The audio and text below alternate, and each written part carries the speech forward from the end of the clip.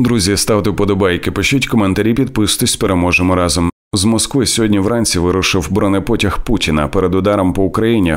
В тому числі, мабуть, Орешником Путін вирішив покинути Москву. В РФ триває підготовка до нової атаки. Монітори фіксують спорядження бортів на аеродромі Енгельс 2 КР Х-101, 555 та Х-22. Активність стратегічної авіації на авіабазі Енгельс 2 Саратовська область 28.11. 19.25 тренування одного борта Ту-95 та двох бортів Ту-160. Зліт п'яти бортів тактичної авіації ЗСУ 29.11. Тренування одного борта Ту-95, тренування одного борта Ту-95 МС, зліт одного борта Су-34, другого борта зліт, акустична посадка одного борта Ту-22. На аеродромі Енгельс прибули три Ту-95, один Ту-22 з метою спорядження Х-101, Х-555 та Х-22. Сьогодні-завтра буде масована атака, бережіть себе. Президент Росії Путін все частіше користується для далеких переїздів до своєї резиденції бронепоїздом, який він пересів навесні 21-го. Восени 21-го, коли російська армія почала активно готуватись до вторгнення в Україну.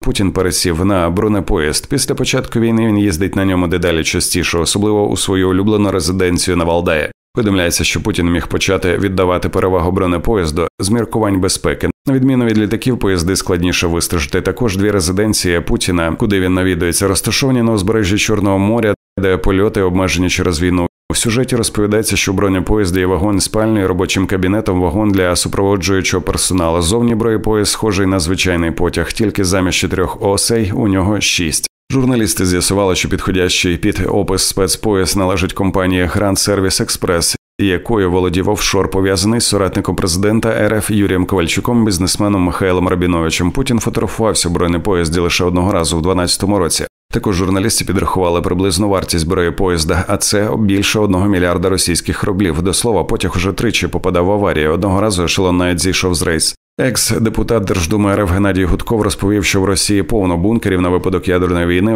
У самого Путіна є не один бункер. Гудков розповів, що Путін ховається в бункері, який нагадує цілі підземні міста. На початку грудня 22-го змі з'явилася інформація про те, що президент Росії Путін має розгалужену систему бункерних секретних бункерів, має розгалужену систему секретних бункерів, розташованих від Москви до Урала і продовжує будівництво підземних сховищ в країні. В той же час сьогодні, 30 листопада, Путін найближче оточення евакуйовують з Москви, вилетіли й десятки інших еліт. Вже готують атаку, після якої чекають ответки. До зустрічі, друзі. Ставте подобайки, пишіть коментарі, підписуйтесь, переможемо разом.